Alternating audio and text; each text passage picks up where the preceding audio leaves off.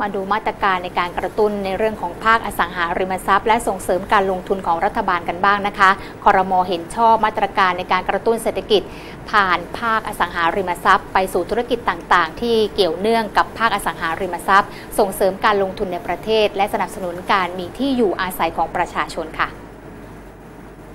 ซึ่งก็มีถึง 7 โครงการด้วยกันนะคะ ที่จะมากระตุ้นภาคอสังหาริมทรัพย์ แล้วก็ส่งเสริมการลงทุนสำหรับประชาชนนะคะ มีสินเชื่อของทออสค่ะ Happy Home นะคะรายละไม่เกิน 3 ล้านบาท ดอกเบี้ยคงที่ 3%ต่อปี นาน 5 ปี ยื่นขอได้นะคะ ถึงวันที่ 30 ธันวาคม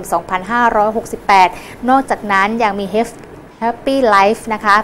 รายละ 2.5 ล้านบาทขึ้นไป ดอกเบี้ยเฉลี่ย 3 ปีแรก 2.98%ต่อปี ยื่นขอได้จนกว่าวงเงินจะเต็มค่ะแล้วก็มีในส่วนของการลดหย่อนค่าจดทะเบียนโอน จดจำนอง เหลือ 0.01%ตั้งแต่ประกาศในราชกิจจานุเบกษาถึง 31 ธันวาคม 2567 ค่าจ้างการก่อสร้างบ้านค่ะ 10,000 บาทต่อทุก 1 ล้านบาท ตั้งแต่ 9 เมษายน 2567 จนถึง 31 ธันวาคม 2568ส่วนในเรื่องของสินเชื่อธนาคารออมสินนะคะ บ้านออมสินเพื่อประชาชน รายละไม่เกิน 7 ล้านบาท ดอกเบี้ยปีแรกอยู่ที่ 1.95%เฉลี่ย 3 ปีแรก 2.95%ต่อปี ยื่นขอได้ตั้งแต่ 17 เมษายนจนถึง 30 ธันวาคม 2567 ที่ธนาคารออมสินค่ะ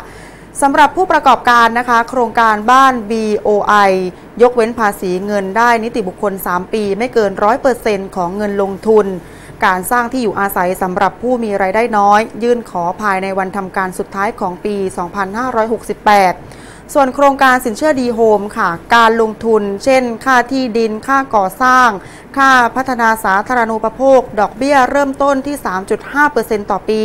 ฟรีค่าธรรมเนียม ยื่นขอได้ตั้งแต่วันที่ 17 เมษายนเป็นต้นไปค่ะ ผู้ที่กำลังจะมีบ้านนะคะ ก็ไปดูรายละเอียดนะคะของการที่รัฐบาล ได้มีมาตรการถึง 7 โครงการด้วยกัน ไม่ว่าจะเป็นสำหรับของพี่น้องประชาชนเอง หรือว่าสำหรับในส่วนของผู้ประกอบการที่จะมาลงทุนในเรื่องของบ้านนะคะ ไม่ว่าจะเป็นธนาคารออมสินธนาคารทออสค่ะ